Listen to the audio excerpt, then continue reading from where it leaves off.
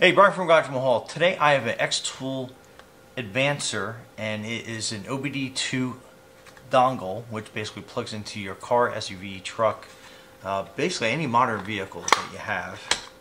So let's open up, see what we get inside. So that is it.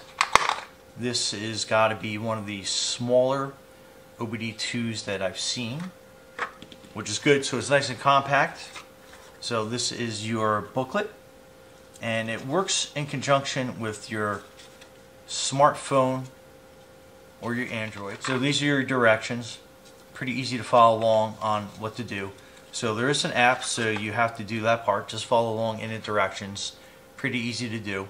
So uh, anyway, let me uh, load the app up on my phone and we'll go plug it into one of my vehicles and I'll show you how it works. So Stay tuned. Okay, so we're outside and we're going to take the OBD2, the Xtool, and we're going to plug it into my 2018 Acadia. And the plug-in port is here. And most cars may vary. So we're going to get in and turn the car on. Okay, so you can see the check engine light is on there. So let me connect to... So while it's connecting to the device, make sure that you obviously have your car started and then it's going to give you some detailed information about the vehicle. So you're going to hit pair.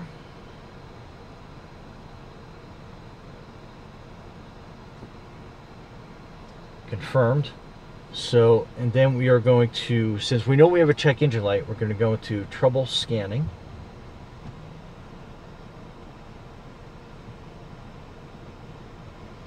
And it will tell you basically faults found so we're going to hit check now.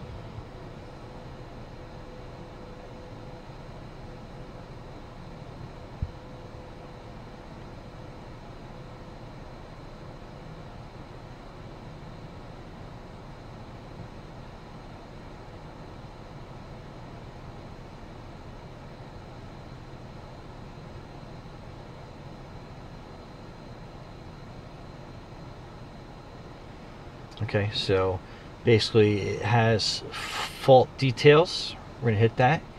And it's going to be basically it's a P042 catalyst system efficiency below threshold and critical level 2 and then the cool thing about this so if you think it is a fault by mistake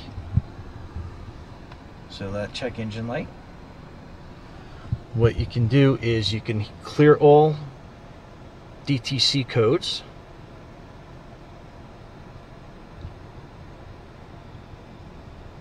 So it's basically going to want us to turn off the vehicle.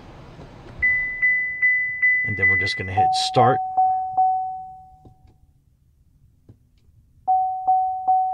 To turn on a vehicle. So we're going to hit.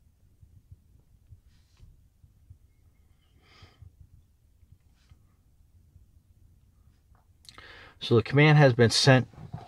So we're going to start the vehicle again.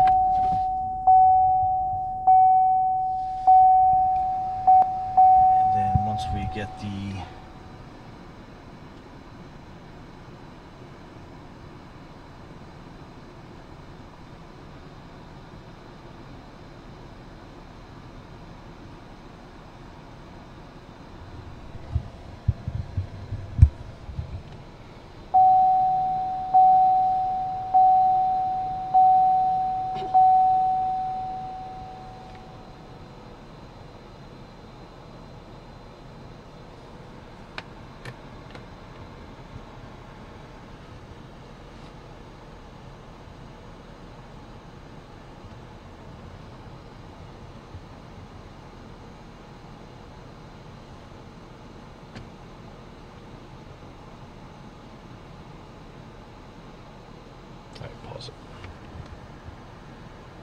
That cleared the check engine light.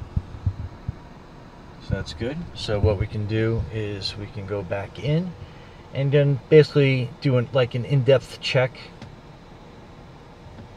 So this is basically going to go through an in-depth check to check everything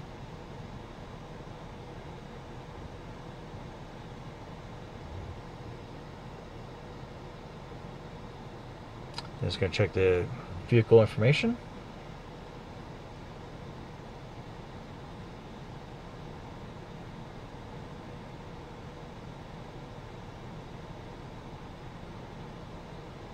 So it's communicating with the engine control module, the transmission control module.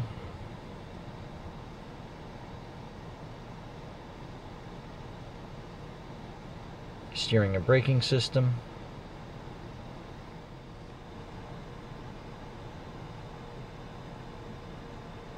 Safety and comfort.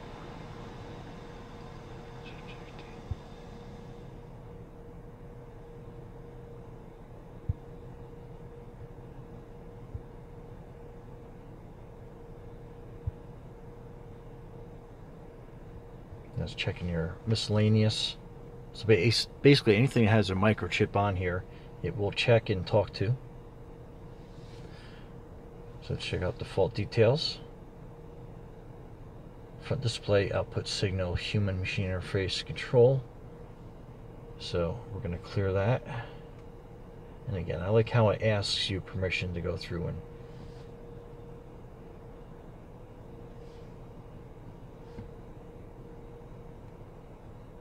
Okay, then you can go into your application center. And then you have a whole bunch of diagnostic tests that you can do. DIY corner, vehicle maintenance and stuff. You can go into live data.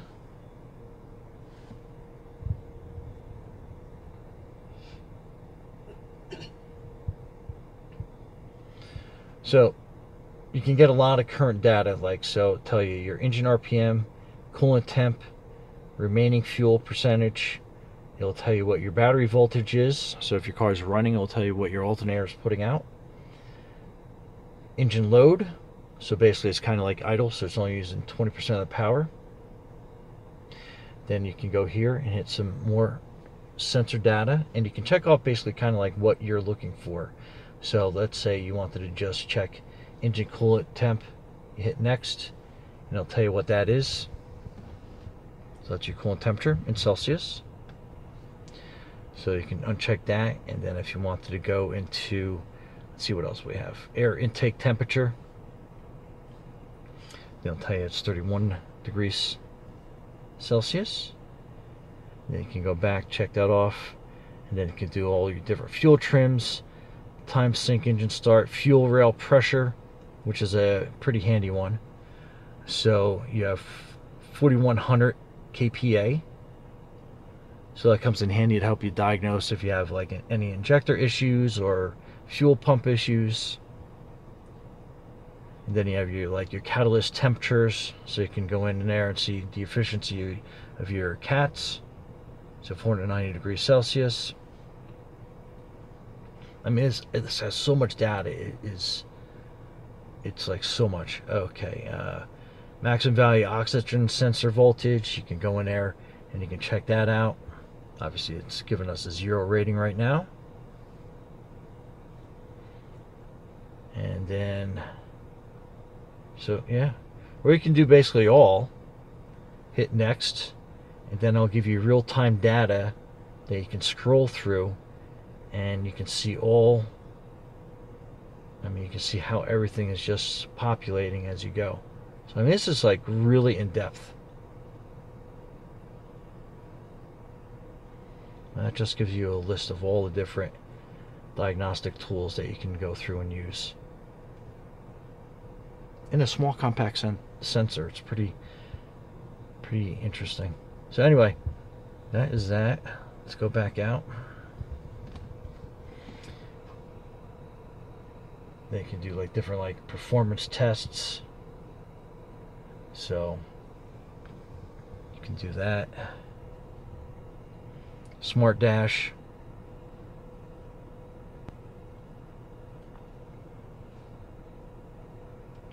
Trip management. So you can keep an idea of what you're doing every week, monthly.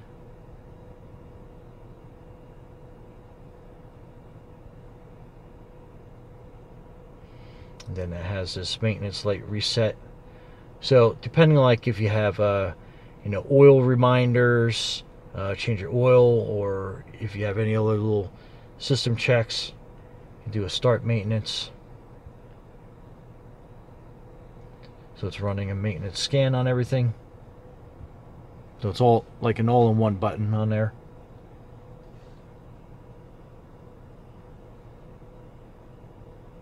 So you can do like auto resets. Again, it just goes through all list of vehicles on there. So that's a whole nother area that you can go through. But yeah, I mean, it is absolutely filled with all sorts of information on there.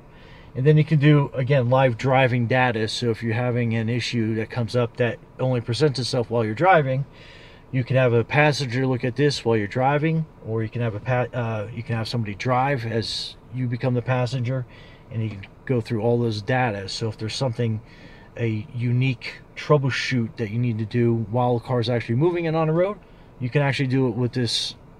So super handy. Anyway, um, Brian from Garage Mahal, thanks for watching, and be safe out there.